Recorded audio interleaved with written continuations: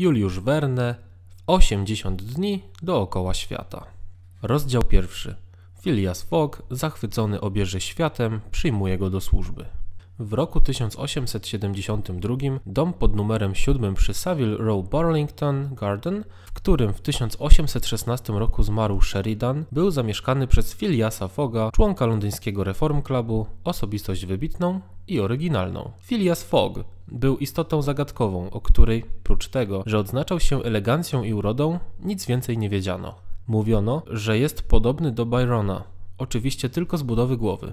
Był to Byron z wąsami i faworytami. Byron niepodlegający żadnym cierpieniom, który mógłby żyć 100 lat, zupełnie się nie starzejąc.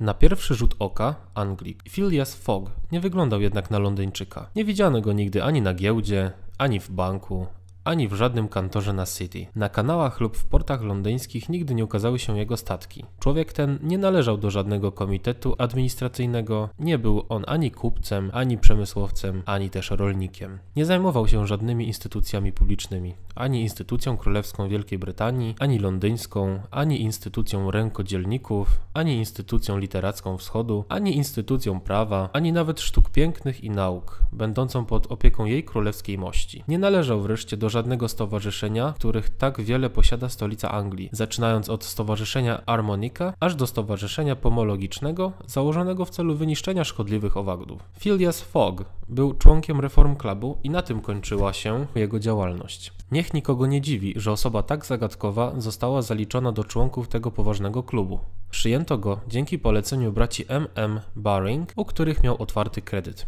Czy Phileas Fogg był bogaty? Niewątpliwie. Ale w jaki sposób zdobył majątek? O tym najbardziej wtajemniczeni nie wiedzieli, a do niego samego nikt nie ośmielił się zwrócić z podobnym pytaniem. Nie był rozrzutny ani też skąpy, gdyż chętnie spieszył z datkami, gdy chodziło o szlachetny lub użyteczny cel. Czynił to zwykle po cichu, bezimiennie. Phileas Fogg nie należał do ludzi towarzyskich. Mówił bardzo mało i wydawał się być osobnikiem dość tajemniczym. Czy pan Fogg podróżował kiedyś? Tak należałoby przypuszczać, bo nikt lepiej od niego nie znał wszystkich części świata. Nie było miejsca nawet najbardziej oddalonego, o którym nie mógłby udzielić szczegółowych objaśnień. Nieraz w kilku słowach, krótko i jasno wypowiedzianych, obalał krążące w klubie wiadomości o zaginionych podróżnikach. Wynajdywał prawdziwe przyczyny ich zniknięcia i jego słowa zwykle sprawdzały się, jak gdyby był jasnowidzem. Faktem jednak było, że w przeciągu wielu lat pan Fogg nie opuszczał Londynu. Nigdzie też nie bywał i ci, którzy bliżej go znali, utrzymywali, że odbywał codziennie tylko jedną drogę, a mianowicie z domu do klubu i z klubu do domu. Jedyną jego rozrywką było czytanie dzienników i grywanie w Vista. Grywał zazwyczaj szczęśliwie, a wygraną przeznaczał na cele dobroczynne. Gra sama przez się wydawała mu się walką, w której przeszkody pokonywał z niewzruszonym spokojem, cechującym całą jego naturę. O jego rodzinie ani też o krewnych i przyjaciołach nie wiedziano nic. Mieszkał samotnie we własnym domu przy Savile Row, do usługi miał jednego służącego. Obiad i śniadanie spożywał w klubie, samotnie, o jednej i tej samej godzinie, na jednym i tym samym miejscu, nie zwracając uwagi na otoczenie. 10 godzin dziennie spędzał u siebie, dokąd wracał zwykle o północy, zaś resztę czasu w klubie.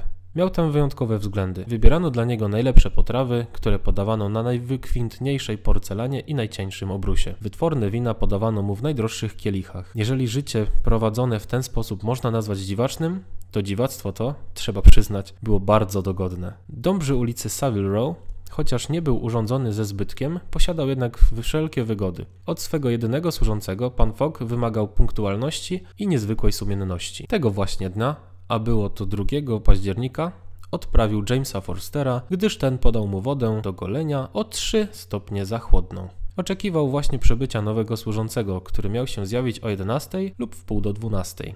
Phileas Fogg z rękami opartymi na kolanach z podniesioną głową śledził wskazówki zegara pokazującego godziny, minuty, sekundy, dnie i porę roku. Gdy zegar wybił oznaczoną godzinę, pan Fogg wstał, aby udać się do klubu.